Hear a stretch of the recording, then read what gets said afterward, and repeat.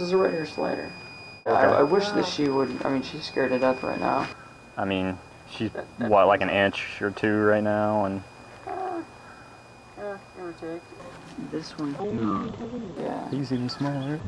Yeah. Is that a boy and- or a girl? Uh, this one, actually, I'm not sure. It'd probably be another week before I could sex.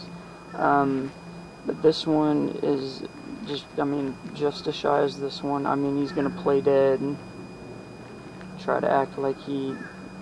That I was gonna see if you guys wanted to buy the smaller one instead. So it's up to you.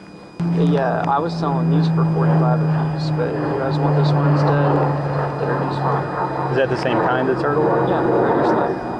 Okay. So they're they're pricier when they're smaller, and then they get once you get bigger. Yeah, the, the, the closer they are when they hatch, people want they want them smaller, they're cuter, and Yeah.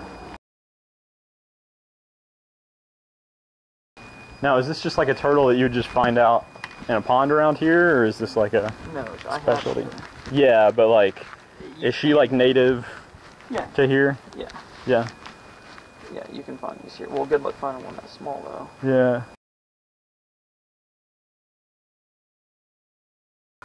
How many of them do you hatch at a time?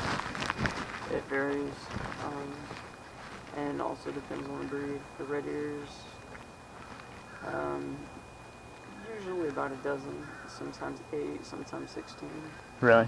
Yeah, right, give or take. How do you hatch the eggs? Like, do you have to get like an incubator? Yeah, that, I mean that's why I can't just give them away. It, co- it costs money to do all those. Yeah. Yeah.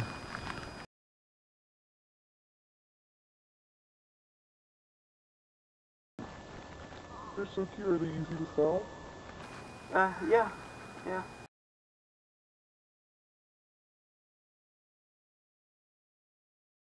For the next next probably month, you'll want to wash your hands after you're touching them. Okay.